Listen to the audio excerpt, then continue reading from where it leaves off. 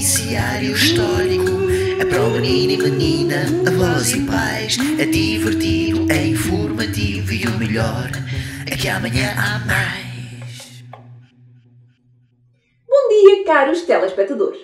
Hoje é dia 17 de junho e comemora-se a primeira viagem transatlântica de Gago Coutinho e Sacadura Cabral. Este é o Noticiário Histórico e eu sou a apresentadora Roberta. Esta aventura teve início às 7 horas do dia 30 de março de 2022.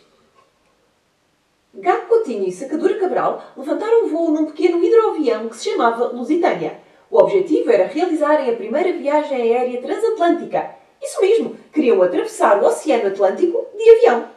E se por acaso alguém estiver a pensar que esta viagem era coisa fácil, é porque ainda não percebeu bem o tamanho do Oceano Atlântico.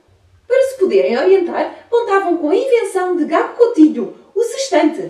A viagem teve algumas interrupções. Umas estavam previstas para poderem descansar e abastecer, mas alguns acidentes ao amarar, amaragens forçadas devido a problemas no motor, tempos de espera enquanto o avião substituto não chegava, entre outros problemas, fizeram com que a viagem demorasse mais do que o previsto.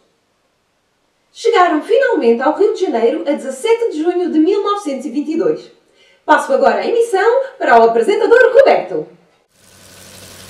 Pois é verdade, meus amiguinhos! Pela primeira vez, o avião atravessou o Atlântico somente com o auxílio da navegação astronómica a partir do aeroplano. Foram aclamados como heróis em Portugal e no Brasil, onde milhares de pessoas os receberam. A viagem demorou 79 dias, mas o tempo de voo foi apenas de 72 horas e 26 minutos. Percorreram 8.383 km. E passo agora a emissão para o estúdio. É contigo, Roberta! Adeus, amiguinhos!